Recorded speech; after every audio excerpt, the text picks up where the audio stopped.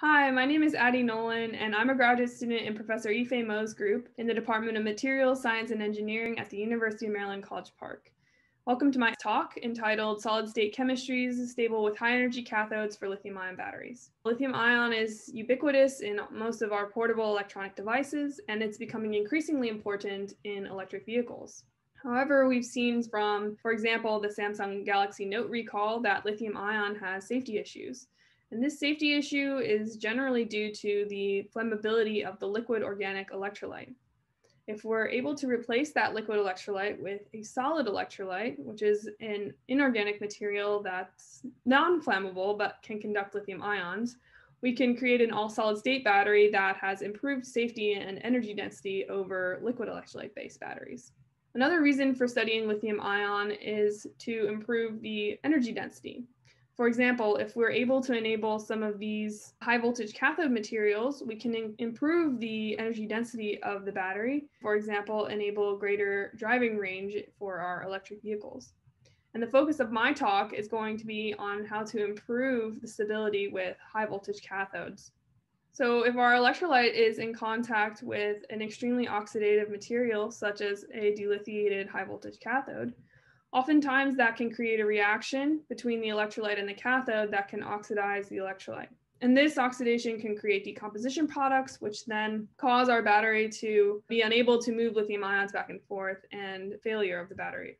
We've actually seen how to solve this problem in one way by coating the cathode.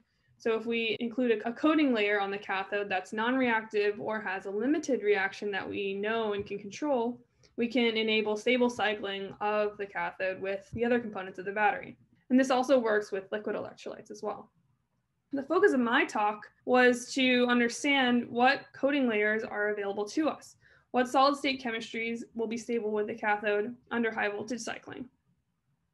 And to answer this question, I looked at the stability of a lot of different materials with coating layers using a thermodynamic analysis of phase diagrams as generated by computational data of materials. And I'll show you an example using lithium cobalt oxide. I have here two particles of lithium cobalt oxide, which is a cathode material, lithiated and delithiated LCO.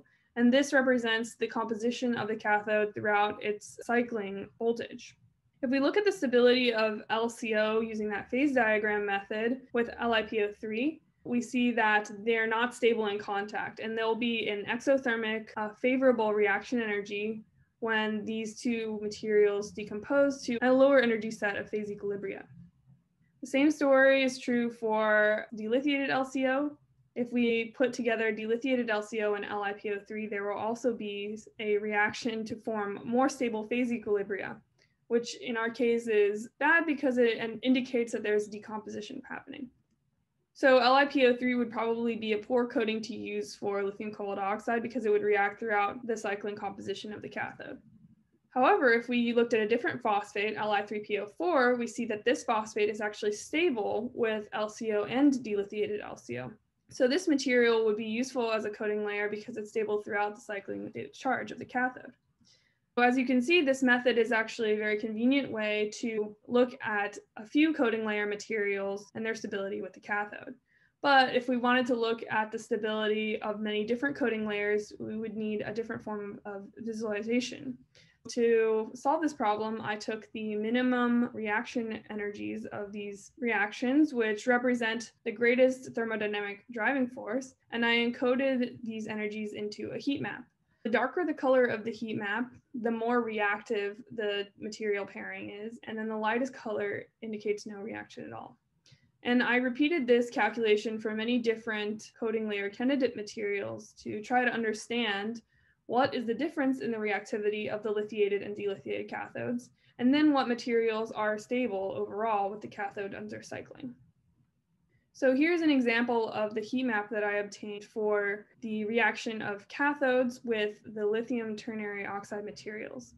The cathodes are on the x-axis. I looked at lithium cobalt oxide and delithiated lithium cobalt oxide, layered lithium nickel oxide, and then high voltage lithium manganese nickel spinel and lithium cobalt phosphate. And these are all the lithiated and delithiated compositions.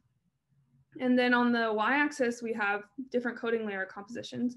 Again, these are the lithium ternary materials, which means there's a lithium, a cation M, and then an oxygen. What we found in general, just looking broadly at this diagram, was that the high voltage cathodes on the right tended to be more reactive with the lithium ternary materials than, than the layered oxides. And it was extremely difficult to find coatings that were stable throughout the cycling state of charge of these high voltage cathodes. One of the trends that we found was that the lithium content of the coating layer influences its reactivity with the cathode. So if we look at a subset of the materials, they're all organized by lithium content. And if we just look at the layered oxides, we see that for the layered cathodes, as the lithium content of the coating layer increases, the delithiated cathodes are less stable, but the lithiated cathodes are more stable. And then if we look at just the high voltage cathodes, we see that all the cathodes become less stable as we have increasing lithium content of the coating layer. So this was a great find for us because it indicated that the cathode stability is highly dependent on whether the chemical potential of the lithium and the cathode match. So in general, whether the cathode coating layer matches the lithiation of the cathode. Because those high voltage cathodes tend to be less stable with extremely lithiated materials, we next looked at binary oxides, which have no lithium in them. And we found in general that the binary oxides tended to have the most reactive binary oxides tended to be the alkali metal oxides. And we also found in several cases good agreement with the literature on our predictions. Several materials that have been shown in the literature to be good cathode coating layers were also captured by our analysis.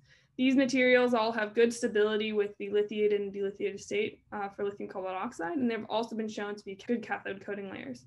We also found some that were used as coating layers for the high voltage lithium manganese nickel spinel.